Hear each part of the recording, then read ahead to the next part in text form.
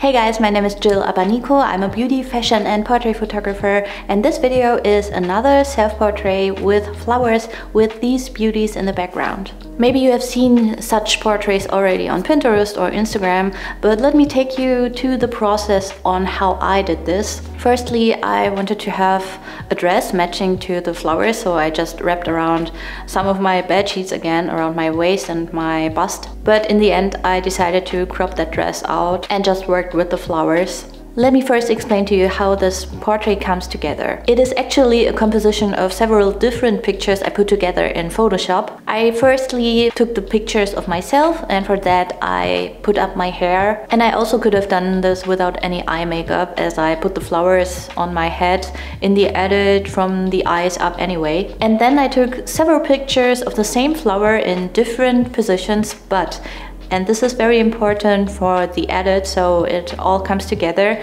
in the same light setup as I shot myself in. Now onto the light setup itself. For my first shots, I shot a portrait of myself with um, indirect cloudy daylight coming from the right side of the camera from my window. But with time I realized I wanted to have even softer light for this portrait and I also wanted to reduce the hotspots of the highlights on my face. So for that I just put a single curtain over my window.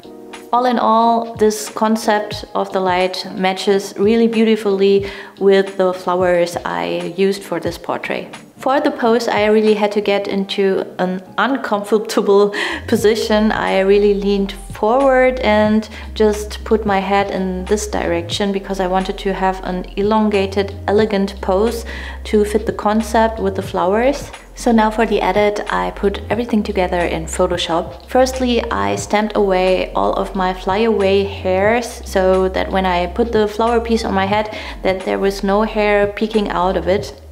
And as I already said, I wanted to have an elegant pose and as my composition with my pose wasn't elegant enough for me from my perspective, I used the liquify tool to just shape my body into a more elongated body shape.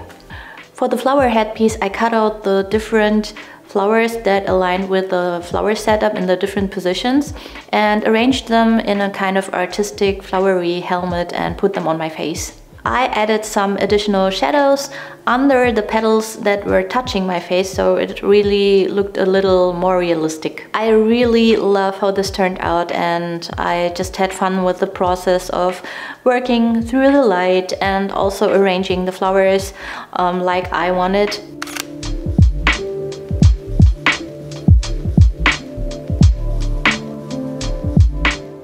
And as everything that I photographed in this portrait was done by myself, it's kind of a unique art piece. So I hope that this video helped you too to create this by yourself. And if you do so, please tag me on Instagram. I would love to see your photos.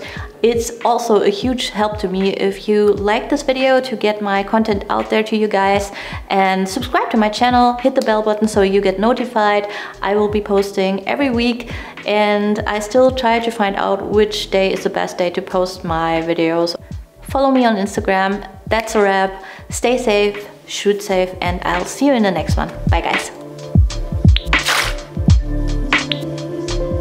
Yes, what is it? I don't know.